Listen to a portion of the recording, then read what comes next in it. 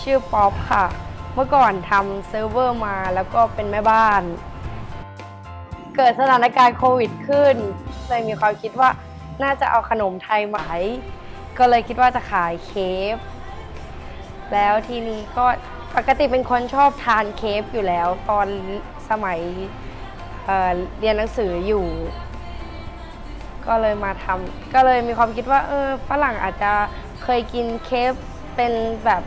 นิ่มมาลองทำเคฟกรอบให้เขาทานดูเผื่อเขาจะชอบปกติเขาก็กินกับไอติมแล้วก็มีเค็มนิ่มปกติที่เป็นเนื้ออยู่แต่มันไม่ใช่เหมือนอารมณ์เหมือนของคนไทยที่เป็นกรอบ ซึ่งมันก็จะออกเป็นแนวขนมด้วย แล้วก็เป็นแนวคาวได้ด้วย เราจะมีหน้าคาวแล้วก็หน้าหวานนะคะ หน้าคาวก็จะเป็นเอ่อหน้าหมูสับ หน้าหมูหยอง หน้าแฮม ไส้กรอกทูน่า แล้วก็ไข่ค่ะ ส่วนหน้าหวานก็จะมีขนมเป็นพวกมัชเมลโล่คอนเฟลกแยม หน้ากล้วย หน้า Nutella คือแบบหน้าที่เมืองไทยมีหมด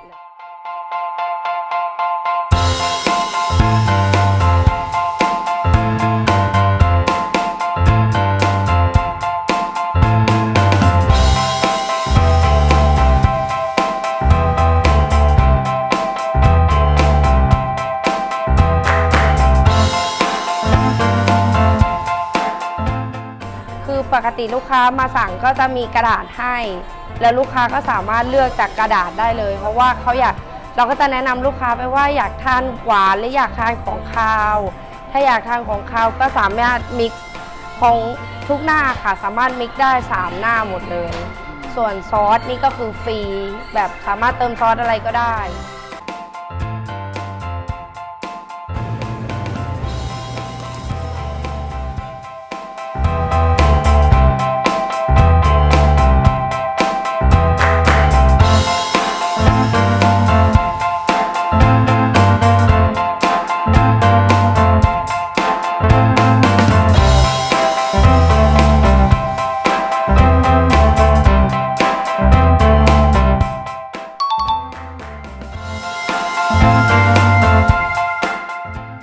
อยู่ที่มายาเบค่ะ